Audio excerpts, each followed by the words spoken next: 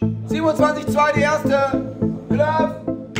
Spannende medizinische Fälle, dramatische Operationen und unzählige private Verwicklungen sind die Zutaten für die beliebte Arztserie in aller Freundschaft. Seit der ersten Folge vor 25 Jahren bringt uns die Serie Geschichten mit Herz und Verstand in die deutschen Wohnzimmer. Doch wie wäre es, wenn in Zukunft künstliche Intelligenz die Geschichten schreibt? Die heutige Film- und Fernsehlandschaft basiert zum Großteil auf einem einfachen wie grundlegenden Schöpfungsakt, ein von Menschen geschriebenes Drehbuch. Es ist Wissenschaft, Handwerk und Kunst gleichermaßen. Idealerweise bildet es die Realität ab und spiegelt das zwischenmenschliche Zusammenleben in unserer Gesellschaft. Doch was macht ein gutes Drehbuch aus? Ja, Geschichten. Immer wieder gute Geschichten. Geschichten, die die Leute berühren. Und mit einem guten Drehpunkt und Überraschungen und lebendig erzählt. Äh, gute Dialoge, ganz wichtig. Unbedingt, ja. ja. Gute Dialoge ist. Also Sachen, die sich gut spielen lassen. Das ideale Drehbuch für eine Serie hat zum einen ganz klar verinnerlicht, was das Format der Serie ist, was die, ähm, nennen wir es DNA der Serie ist, dass das getroffen wird, das ist wichtig, weil es gibt eine Verabredung hier. Und ähm, dann kommt eine Prise Unerwartetes hinzu. Was genau ein gutes Drehbuch ist, lässt sich jedoch schwer definieren. Die Zuschauer vor den Endgeräten haben meist nur Kontakt mit dem fertigen Produkt. Ihnen ist der Weg dahin nicht klar. Eine lange Vorarbeit mit viel Recherche ist nötig, um interessante Charaktere und eine klare Aussage in eine Geschichte zu verarbeiten. Doch egal welche Geschichte erzählt werden soll, am Ende geht es um Emotionen. Emotion im Zuschauer entsteht dadurch, dass er was Vertrautes wiederentdeckt, wo er sich also öffnet und innerhalb dieses Vertrauten geschehen dann überraschende Wendungen. Ich kann mich gruseln, ich kann um jemanden bangen, hier spielt der Suspense-Begriff eine Rolle. Sprich, viele verschiedene Arten von Emotionserzeugung spielen miteinander. Der normale Verlauf eines Drehbuchs in aller Freundschaft ist ein arbeitsteiliger Prozess. Also ich habe ein äh, Team an, an stoffentwickelnden Menschen um mich herum.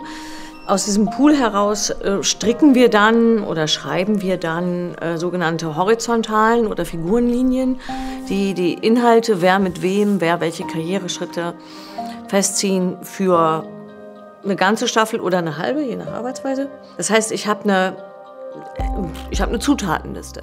Drehbücher enthalten also bestimmte Anteile an Bausteinen, Abläufen und Gefühlen, aber lassen diese sich auch berechnen? In Zeiten tiefgreifender technologischer Veränderungen stellt sich die brisante Frage, ob sich die von allen beschworene KI auch diesen Bereich erobern wird und humane AutorInnen damit passé sind. Ist es für eine Maschine möglich, das Leben in seiner Vielfalt zu erfassen? Naja, ich kann im Prinzip aus Daten lernen, wie man hm, vielleicht ein Drehbuch schreibt. Das kann die eine Variante sein. Oder wenn ich beispielsweise ein Drehbuch habe, kann ich rein theoretisch über maschinelles Lernen natürlich auch verstehen, was für Zusammenhänge es beispielsweise in dem Drehbuch gibt. Ich sage mal, das ganze Thema Daten hilft, jeglichen Inhalt zu entschlüsseln. Das muss auch nicht ein Drehbuch zwingend äh, sein. Das kann ein Text sein, das kann gesprochenes Wort sein, das kann im Prinzip alles sein, was wir im Medienbereich ähm, finden. Am Ende geht es immer darum, aus Daten zu lernen, zu verstehen, was unsere Nutzer haben wollen, um sie dann noch zielgerichteter ansprechen zu können. Für Drehbuchschreiber mag diese Meldung eher eine Schreckensnachricht sein, für Datensammler eine frohe Botschaft. Schließlich braucht man für die Nutzung der künstlichen Intelligenz jede Menge Daten, mit denen das System trainiert und aus denen es im weiteren Verlauf eigenständig Problemlösungen hervorbringen kann. Die Datenanalyse ist die Grundlage für äh, künstliche Intelligenz. Im Prinzip sage ich mal, das nennt sich maschinelles äh, Lernen und das ist im Prinzip ein großer Paradigmenwechsel, der ich sage mal, in den letzten 20 Jahren ungefähr stattgefunden hat. Das heißt, ein Programmierer, der früher über Wenn-Dann-Mechanismen gearbeitet hat, hat heute über das maschinelle Lernen andere Mechanismen, ich sage mal ne, überwachtes Lernen, unüberwachtes Lernen etc. Das heißt, man nutzt im Prinzip die Daten als Grundlage, nutzt maschinelles Lernen und kann eben darüber künstliche Intelligenz in Anführungsstrichen nachahmen. War in der Vergangenheit die Rechenleistung dafür einfach nicht vorhanden, ist sie nun in der Cloud überall und zu jeder Zeit verfügbar. Somit würde eine Einbindung der KI in den Prozess des Drehbuchschreibens nichts mehr im Wege stehen. Doch wie sieht es mit dem Vertrauen in die neue Technik aus? Für mich ganz privat ist künstliche Intelligenz ein, ein überbewertetes Tool, was noch längst nicht so weit entwickelt ist, dass ich es anwenden können wollen würde. Ich unterscheide am Ende Sprachmaschinen generierte Texte nicht von denen, die ich äh, mit meinem Stift aufschreibe. KI, so wie ich sie verstehe, sucht aus diesem Pool an Textmengen, wo Wikipedia nur die kleinste Textmenge überhaupt ist, die in diesem Pool drin ist, äh, mögliche Antworten auf Fragen raus, macht Titelvorschläge, kann ganze Beiträge oder Hausaufgaben schreiben. Alles fein. Was aber passiert ist, sie wiederholt das, was sie am öftesten findet, als erstes. Das heißt, ähm, wiedererkennbare Strukturen vervielfältigen sich selbst und werden offenbar durch die Menge an, Verviel an Vervielfältigung immer umso wahrer. Noch immer gibt es viele Gründe, das Innovationsphänomen KI hinsichtlich seiner Struktur und seiner Fehler zu diskutieren. Doch lässt sich das Phänomen der Algorithmen wirklich nicht beherrschen? Eine große Gefahr sehe ich schon im Bereich Fake News, ähm, ganz klar. ChatGPT lernt natürlich auf Basis von Daten und auf Basis von dem äh, oder auf den Daten, mit denen es eben gefüttert äh, wird. Insofern, ich sage mal immer, dieser, dieser Faktor nochmal zweimal drüber zu schauen, ob das auch wirklich Sinn macht, das ist, glaube ich, ganz zentral. Dateneingabe und eine ständige Kontrolle der ausgegebenen Ergebnisse sind also ein zentrales Thema beim Umgang mit der künstlichen Intelligenz, was jedoch eine Nutzbarmachung der Technik generell nicht ausschließt. Ich persönlich glaube sehr, sehr stark an, ich sag mal, die Kombination aus Mensch und KI. Und ich glaube, das ist auch beim Thema Drehbuch aus meiner Sicht eigentlich der, ja, der Knackpunkt. Sprich, ähm, ich könnte mir gut vorstellen, dass man ähm, künstliche Intelligenz für die Entschlüsselung der Informationen im Drehbuch beispielsweise nutzt. Wichtig finde ich halt, dass der Mensch am Ende entscheidet, sage ich mal stellt sich nun die Frage nach der Gewichtung der Verantwortlichkeiten. Wie weit ist der Nutzer bereit, die KI für sich arbeiten zu lassen?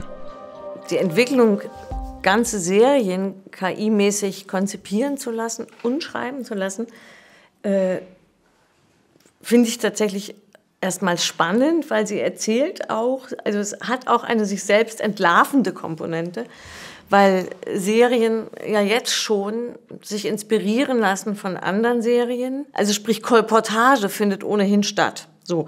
Und eine KI macht nichts anderes als das neu zusammensetzen und kolportieren, was von Menschenhand oder qua Internetschwarm ihr eingegeben ist. Wo ich dann glaube, es möglicherweise wieder das, das menschliche Element braucht neu. Ich glaube nicht, dass die KI ähm, das komplett übernehmen wird. Das ist so ein bisschen das Thema spezifische KI versus generelle ähm, KI. Ich glaube nicht daran, dass uns die KI eines Tages äh, übernehmen wird. Das heißt, ich glaube sehr stark an dieses Hand in Hand äh, gehen, an die Zusammenarbeit äh, zwischen Mensch und Maschine. Und ich glaube, daraus kann unheimlich viel Power entstehen. Deswegen, ich würde immer sagen, in Kombination ist das eigentlich die beste Lösung. Eine Möglichkeit wäre beiden, Mensch und KI, die prinzipielle Möglichkeit einzuräumen, Neues zu erschaffen.